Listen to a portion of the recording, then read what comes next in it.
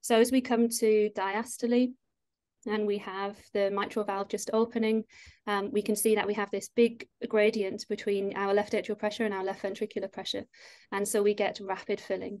All right, so this early diastolic period and this rapid filling here is our E wave.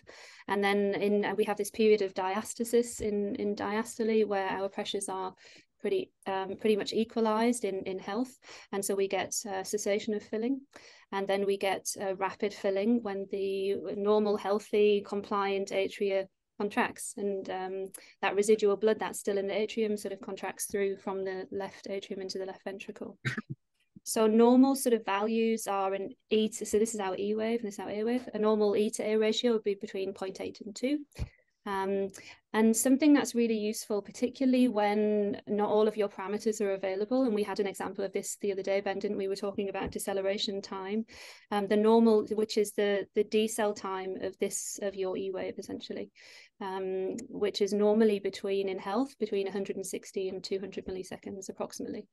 Okay, so that's that's sort of when you know when it happens and what a normal would look like. So this is how it looks with echo, of course. So we have our pulse wave Doppler and we put that at the tips of the mitral leaflet. And this, the, you know, we need to make sure our settings and scale and everything is set accordingly. So we're still in meters per second here, as you'll see.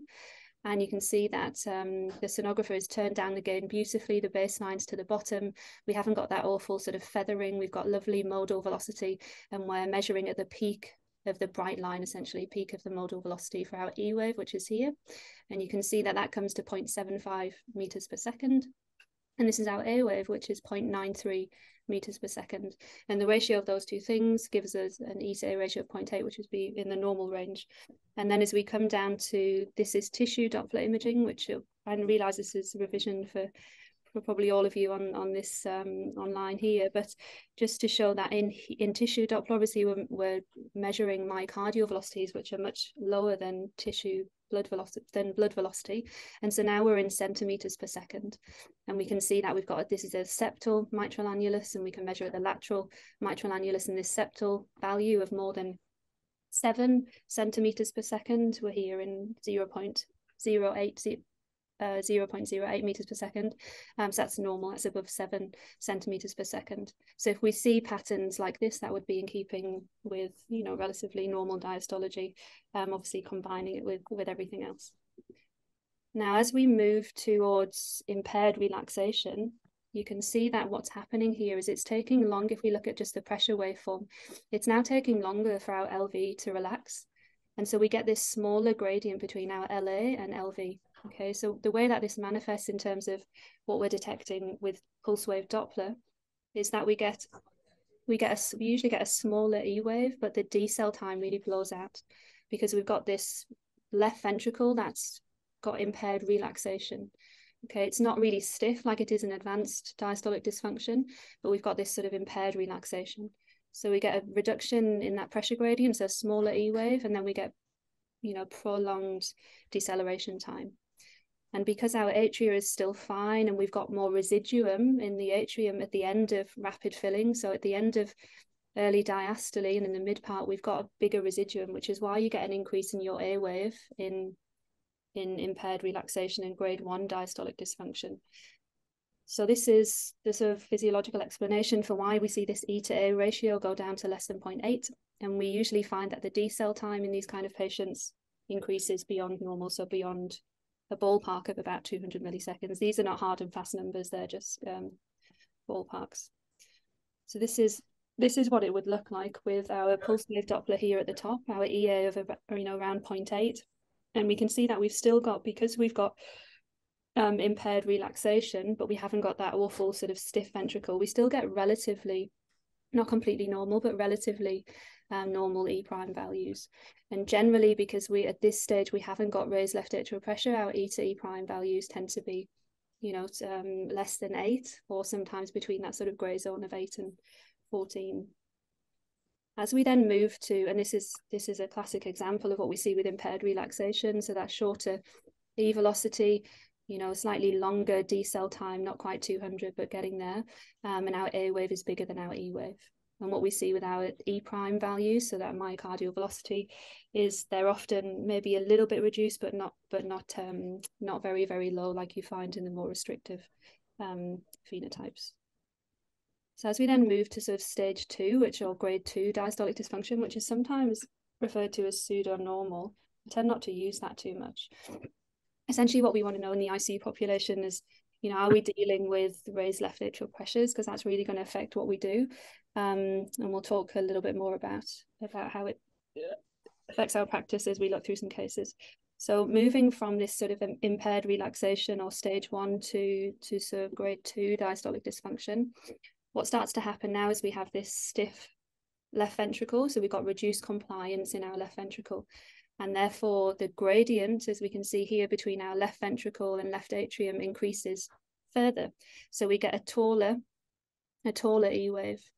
And because we haven't developed atrial systolic failure just yet, then we're still able to get a reasonable A wave contraction, giving us a, a, reasonable sized A wave. So what happens is the ratio then sort of normalizes. But things that we can look at to differentiate between normal and, and pseudo normal would be a few things. Um, one thing that you can look at, because your ratio is going to be the same between 0.8 and, and less than 2 for your EA. Another thing that sometimes gives it away is the decel time. We tend to have shorter decel times in, in grade 2 diastolic dysfunction. But a key thing, and of course we can do the Valsalva maneuver. So does anyone want to tell me what would happen if you if this patient with grade 2 diastolic dysfunction did a Valsalva maneuver? What would happen to the what would happen to the E and the A? Reversal of the wave by 50%. Beautiful. Yeah, exactly. So you get reduction in your E wave, but increase in your A wave um, more, by more than uh, 50 or so percent. What would what would happen in you or I, presuming we hopefully fingers crossed have, have normal diastology? What would happen to to what what would happen to our E and A waves? What's a normal response? They they both go down.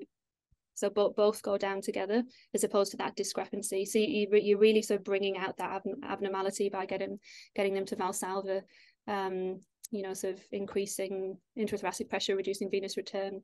So you could get them to Valsalva and look for that reversal in E to A. Um, but the easier thing to do is actually just to look at your E to E prime, E to E prime values.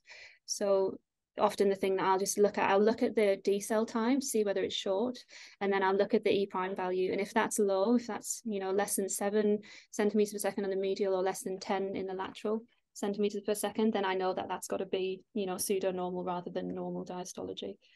Um, but the reason why we can't use E and I don't think this is really understood that well um, sometimes, is that the reason that we can't just rely on our E to A value um, is because you know patient, normal athletes that are fit and well can have E to A ratios of three, four, can't they?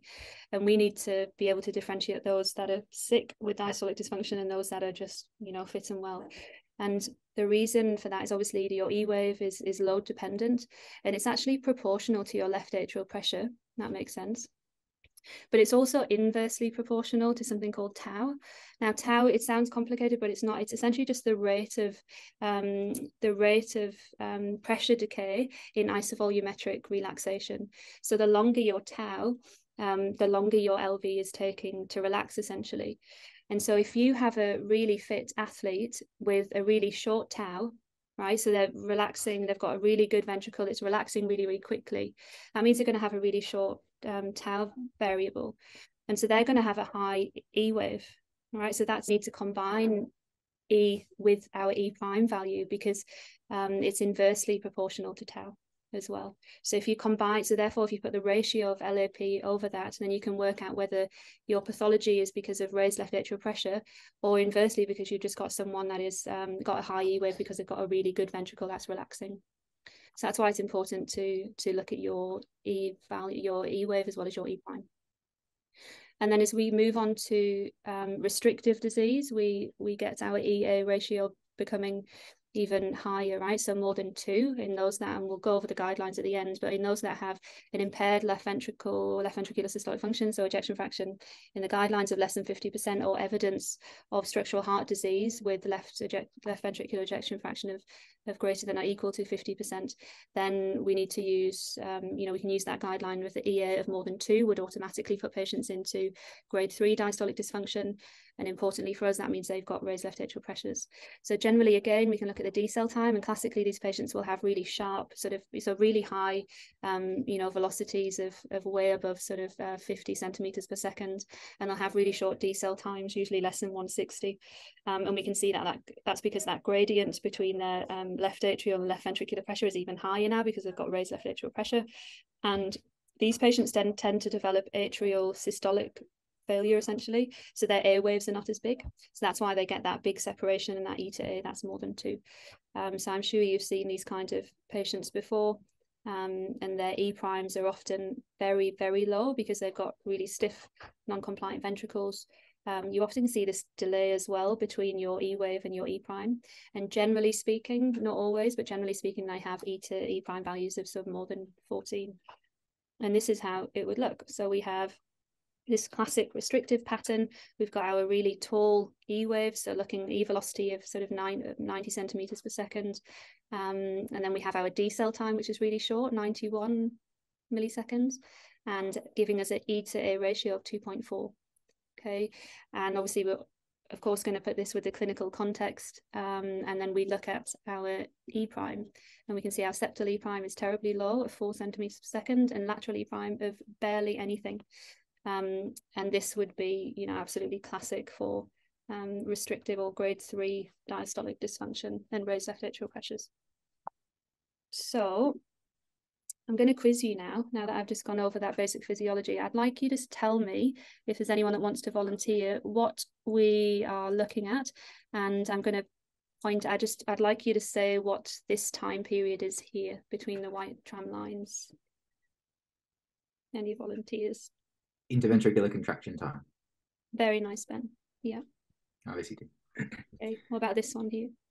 So that's our S wave, and then we've got E and A, like one, two, three. That's here. So systolic, and then uh, yeah, early and uh, early diastolic, and then atrial contraction. Very nice. Do you all get that? So we've got um, this. I'm going to start from here. So we've got this early spike here, which is isovolumetric contraction. Sometimes people can get confused and sort of measure the um, S wave there. So it's really important to recognize that's the isovolumetric contraction spike. And then we have the S wave, and I think normal values on the left side are about eight centimeters per second, greater than eight centimeters per second, something like that. Um, and then we have a time in between here, which you can't really see, which I think I've got up there. We go.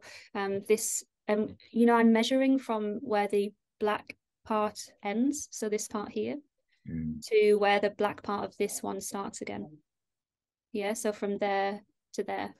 That's our isovolumetric relaxation time, and that can be quite useful some sometimes. I can't say I use it that often, but you but it does. I'll show you some examples of when it might be helpful. Um, and then we have our E wave and our A wave, and then we have um, isovolumetric contraction time. So they look for any of you that are doing the American exams, they sort of love all of this, um, you know, quiz, quizzing you on on different aspects of this. But it's also obviously crucial for your clinical, well, echo and clinical practice as well. Um, so where to measure it then? It's you want to make sure that you haven't got too much feathering, so you turn your gain down. And then for your E for your E wave, which is really the only one that we measure mostly, um, you want to measure on the outer aspect of this bright tracing. Okay, that's what's recommended um, in the guidelines. So we call that the peak modal velocity at the leading edge of the spectral waveform. So this red part here is would be where you would measure. If you learned something, hit like and subscribe to our channel for more videos uploaded weekly. For bite-sized versions, follow us on Twitter at Echo Nepean and check out the tutorials. Or head over to our websites for the latest hands-on courses. Links in the channel banner. And thanks, thanks for watching.